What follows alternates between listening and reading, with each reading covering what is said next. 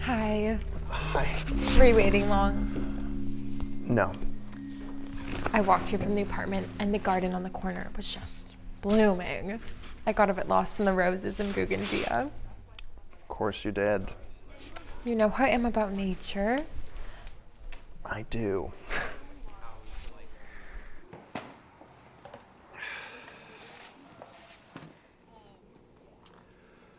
Uh, well, uh, is is this all of it? Everything I could find. Okay. Uh, if, if there's more stuff you didn't find, are we gonna have to do this again? I mean, you could always come by the apartment and check. I told you I don't want to do that. I know. I guess I just don't get why that would be so hard for you. You don't? No. I mean, you're the one who wanted to leave. You're the one who broke up with me. True, and I can see you're real broken up about that. I'm trying not to let anything get to me. I certainly haven't been able to get to you. Been trying for months. I've explained and explained. I've given you pamphlets and I've shown you videos. Cortisol levels kill. I found my way to a peaceful place and I'm staying here. So, you're just going to remain an emotionless meat sack for the rest of your life? Wow, that is such a wave of negativity you're throwing at me. I can't help it, Sienna. I don't. I don't know how to turn it all off. I feel things. You make me feel things. I used to make you feel things. I did give you that book about breathing. God, please stop.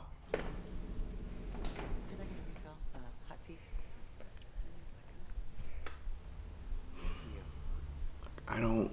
I don't want to know how to turn it all off. I would rather feel like shit than feel nothing. I just worry about you, John. I can feel the stress pouring out of you. It's not stress. It's it's frustration. It's resentment. It's panic. Panic. Yes. Panic. I Once I take this stuff and we go our separate ways, I don't know if I'm going to see you again. And that is panic inducing because against all of my better judgment,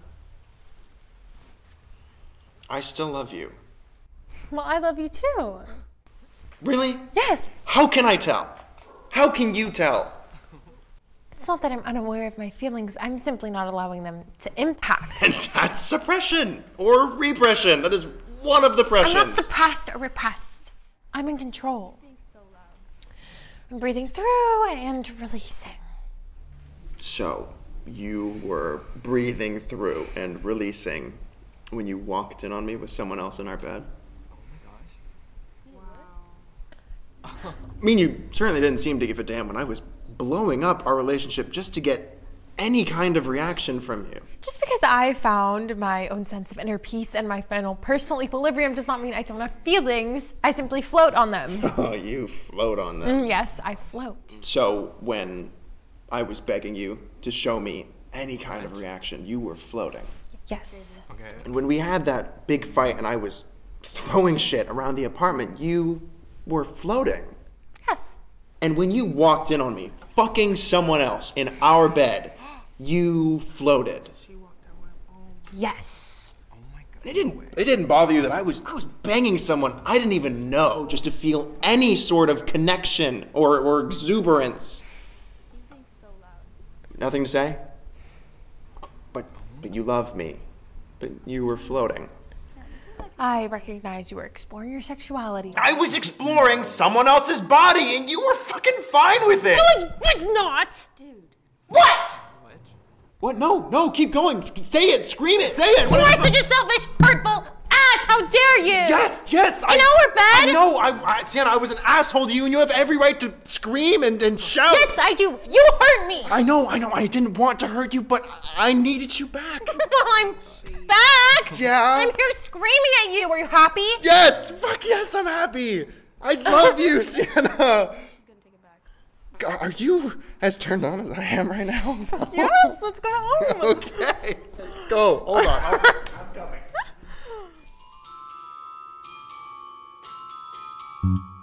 coming.